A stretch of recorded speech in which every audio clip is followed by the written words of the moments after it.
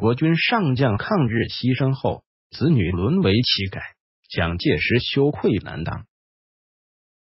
一九三八年，毛主席在延安追悼抗日阵亡将士大会上说：“他是中国人民崇高伟大的模范，证明中华民族绝不是一群绵羊，而是富于民族自尊心与人类正义心的伟大民族。”毛主席称赞的这位将士名叫郝梦龄，他在对日作战的忻口会战中壮烈牺牲，年仅三十九岁。他是抗日战争中牺牲的第一位军长。后来，他的抗日事迹还被列为小学课本中。郝梦龄一八九八年出生于河北省藁城县，由于家境贫寒。只读过三年的私塾，就被迫到杂货店做学徒，不仅工作辛苦，而且经常受到黑心老板的虐待，忍无可忍之下，郝梦龄投奔奉军卫立三部当兵，卫立三届。他勤奋好学，就把郝梦龄送了保定陆军军官学校学习，为以后的军人生涯打下了基础。从保定陆军军官学校毕业后。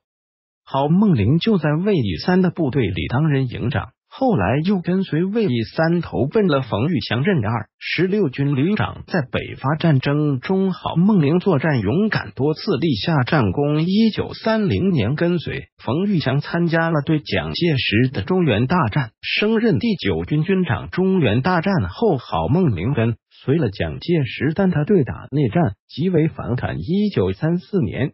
蒋介石反动红军的第五次反革命围剿，郝梦龄拒绝执行命令，请求解甲归田，但是没有蒋介石批准。在此后，只要是蒋介石打内战，郝梦龄都要求解甲归田，但是都没有被允许。一九三七年，卢沟桥事变。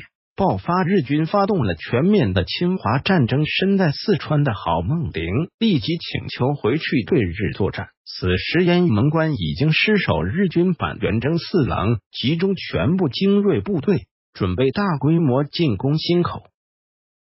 一九三七年十月十一日，忻口战役正式打响。日军为了这次战役下了血本，飞机、大炮、坦克等最先进的武器全部都用上。这因为没有制空权，郝梦龄只好白天带着部队掩护起来，等待日军的飞机和大炮一停下来。就发动猛烈的反击，其中一块二零四高地，郝梦岭与日军反复争夺了十三次，可见战斗之激烈。十六日凌晨五点时，郝梦岭准备乘胜追击，就在距离敌人二百米处，不幸被机枪击中，壮烈牺牲。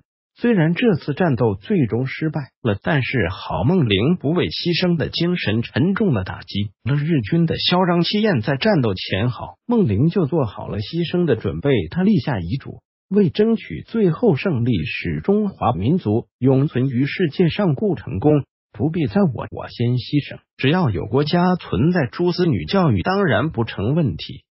我牺牲有荣，为军人者为国家战狼死。可谓得其所以在遗嘱中，郝梦龄时分惦记自己的几个孩子，尤其是他们的教育问题。然而，在郝梦龄牺牲以后，由于平时为官清廉，他的家庭顿时陷入了困境。武汉失守后，郝梦龄的妻子独自带着几个孩子到街上叫卖茶水为生，十分凄惨，几乎沦为乞丐。还是冯玉祥一次在街头遇到了几个孩子。